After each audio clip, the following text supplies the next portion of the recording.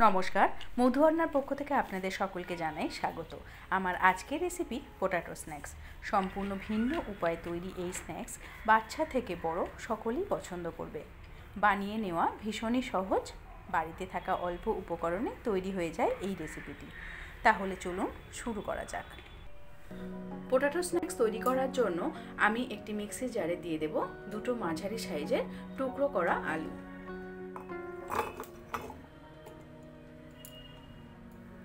একটা মিডিয়াম সাইজে পেঁয়াজ কুচি, দুটো আদার টুকরো, সাত কোয়া রসুন। জল ব্যবহার না করেই এর একটা মিহি পেস্ট রেডি করে নেব। এইরকম মিহি পেস্ট রেডি করে নিলাম। এবার গ্যাস অন করে কড়াইতে দিয়ে দেব দুই চামচ রিফাইন্ড অয়েল।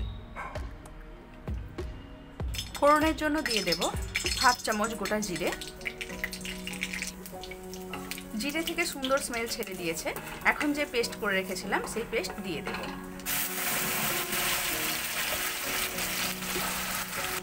আর দেব হাফ কাপ সুজি। এবার সমস্ত কিছু ভালো করে মিশিয়ে নেব।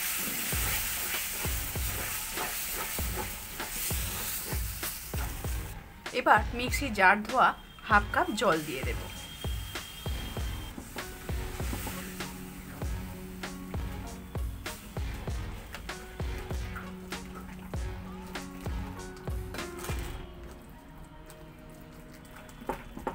এখন দিয়ে দেবো এক চামচ চিলি ফ্লেক্স। আপনারা চাইলে কাঁচা লঙ্কা কুচিও ব্যবহার করতে পারেন। হাফ চামচ ধনে এবং জিরে গুঁড়ো এই ধনে এবং জিরে শুকনো খোলায় ভেজে গুঁড়িয়ে নেওয়া। স্বাদ মতো লবণ। এবার সমস্ত উপকরণ একসাথে ভালো করে মিশিয়ে একটা ডোয়ে পরিণত করে নেব।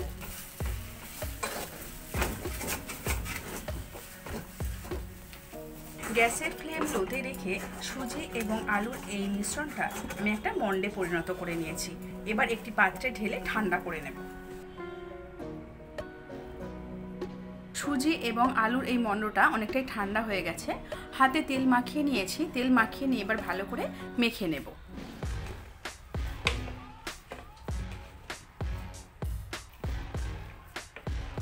ভালো করে মেখে নিলাম। এবার এর থেকে ছোট ছোট আকারে লেচি কেটে নেব।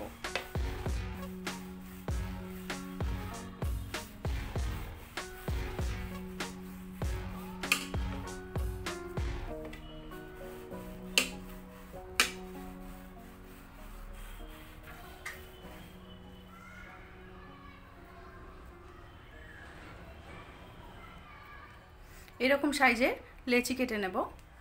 সমস্ত লেচি কেটে নিয়েছি। এবার হাতের সাহায্যে ছোট সাইজের ল্যাংচার আকার দিয়ে নেব। দেখুন, এইভাবে ছোট সাইজের ল্যাংচার আকার তৈরি করে নিলাম। আরও একটা দেখিয়ে দিচ্ছি।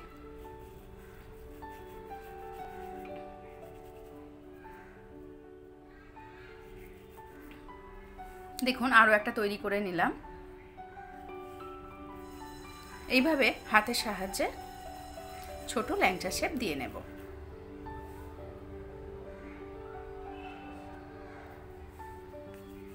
একই পদ্ধতিতে সমস্ত লেচিকে এইভাবে ল্যাংচা শেপ দিয়ে নেব।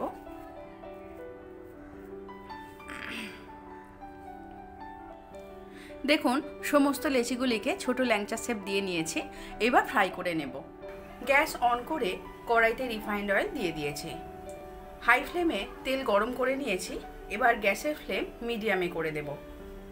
গ্যাসের ফ্লেম মিডিয়ামে করে দিয়ে তৈরি করে রাখা পোটাটো স্ন্যাক্স একটা একটা করে তেলে দিয়ে দেব।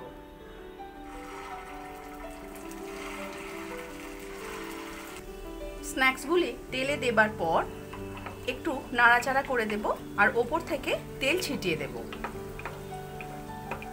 স্ন্যাক্সগুলি কিন্তু হাই ফ্লেমে ফ্রাই করবেন না, তাহলে বাইরের আবরণটা হয়ে গেলেও ভেতরটা কাঁচা থেকে যাবে। দুই মিনিট পর স্ন্যাক্সগুলি এক পিঠ হয়ে গেছে, এবার অপর পিঠ উল্টে দেব।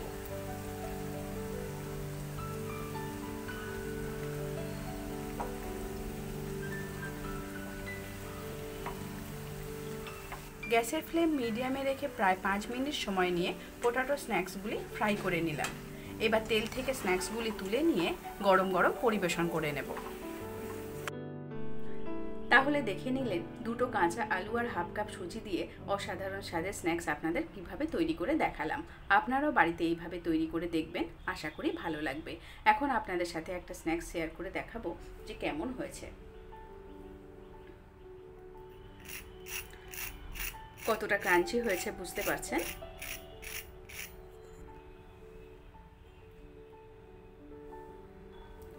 বাচ্চা থেকে বড় এই স্ন্যাক্স ভীষণই পছন্দ করবে। ভিডিওটি যদি ভালো লাগে একটি লাইক করবেন ও সকলের সাথে শেয়ার করে দেবেন। আর আমার চ্যানেলে যদি আপনারা নতুন বন্ধু হন, তবে চ্যানেলটিকে সাবস্ক্রাইব করে দেবার অনুরোধ রইল। আর পাশে থাকা বেল আইকনটি অবশ্যই প্রেস করে দেবেন, তাহলে আমি যখনই নতুন রেসিপি শেয়ার করব, সাথে সাথে নোটিফিকেশান আপনাদের কাছে পৌঁছে যাবে। আজ তাহলে এই পর্যন্তই, ফিরে আসব অন্য কোনো স্বাদের রেসিপি নিয়ে। ভিডিওটি দেখার জন্য আপনাদের সকলকে জানাই অসংখ্য ধন্যবাদ।